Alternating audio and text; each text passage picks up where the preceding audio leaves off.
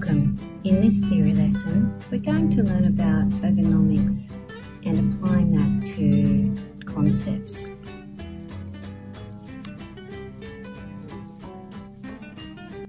The theory of ergonomics says that we need to consider people, and people come in all different shapes and sizes. They have different physical abilities, different knowledge, expectations, and behaviours. Along with these different sizes, we have a term that we call anthropometrics.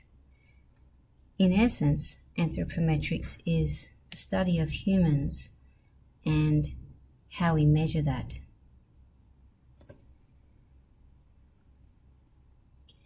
Here you can see a professional measuring the height of a person. This is one example of gathering anthropometric data. So we have static and dynamic anthropom anthropometry.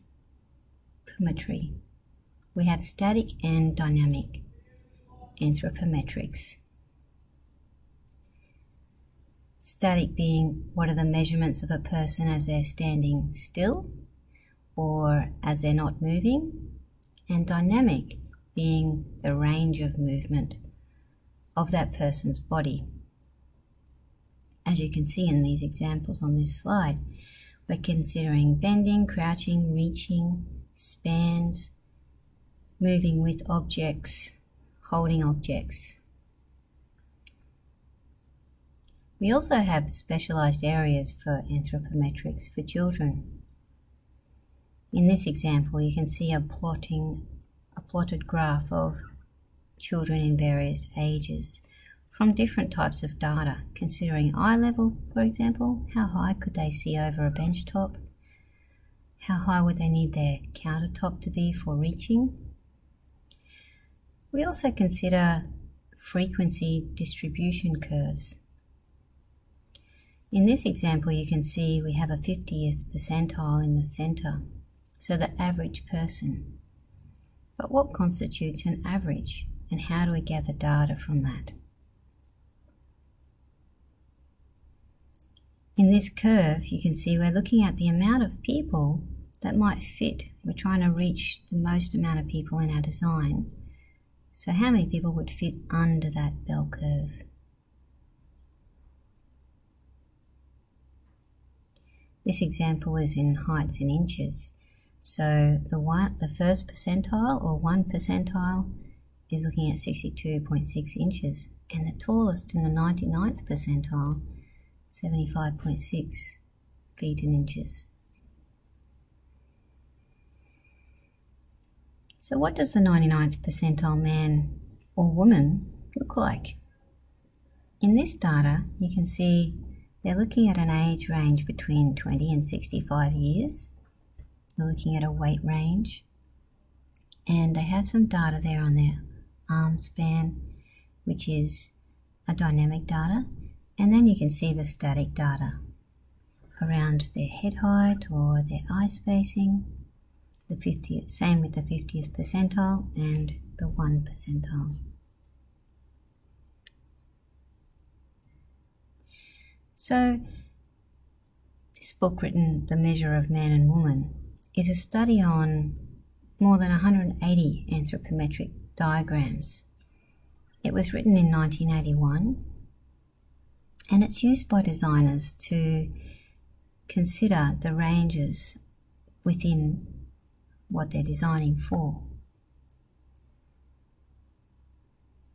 Here's a similar view of the 90th percentile woman, 50th and 1 percentile, and the side view of their capabilities in this dynamic image. Same with the man. And in this front view, we're going to have a look at if you were to design just for this 50th percentile, it would be quite easy. Like us designing for ourselves, we really only have one set of data to consider.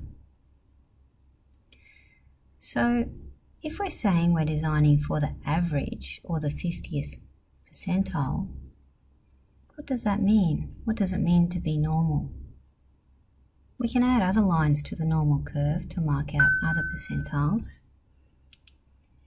In industrial design, we talk typically about the 10th and the 90th percentile, or the 5th and the 95th, or the 1st and the 99th.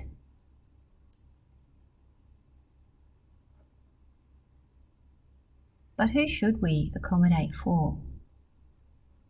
Who loses in these average ranges?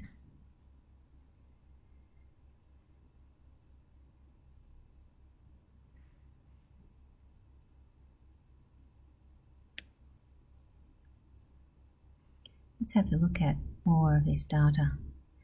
So at 80%, you can see we get everyone who's within the 10th and the 90th percentile. At 90%, we capture everybody within the 5th and the 95th percentile range.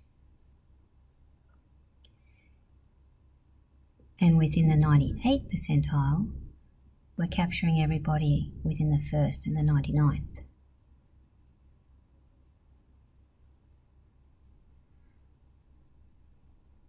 So, what are we limiting when we take away these people outside of our average range? Who are we limiting? The smallest user? Considering reach can mean that a screw top lid can be spanned by a fifth percentile female while still giving enough contact area with the skin. In this case, the first, fifth percentile female is a limiting user. Other reach considerations that are like a door lock, making sure this is no higher than the maximum reach of a small person, or that a seat height does not exceed popliteal height of small users. The popliteal height is a measurement from the underside of the foot to the underside of the thigh at the knees.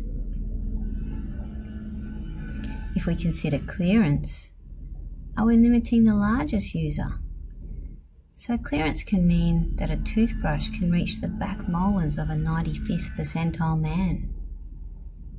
In this case, the 95th percentile man is a limiting user. Other clearance examples are that the height of a doorway should be no lower than the height of a tall man, or that the width of an enclosed chair be no narrower than the hips of a large woman.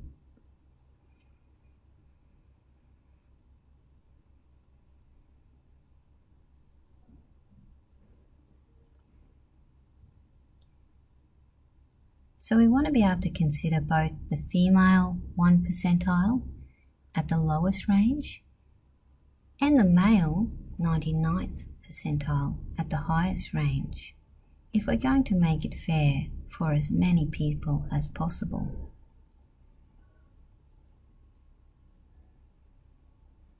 Take this Microsoft Adaptive Xbox controller, for example.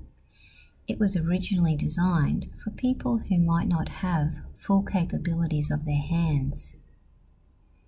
It took the typical Xbox controller and converted it into this flat finger sensor system, allowing for our first to 99th percentile groups.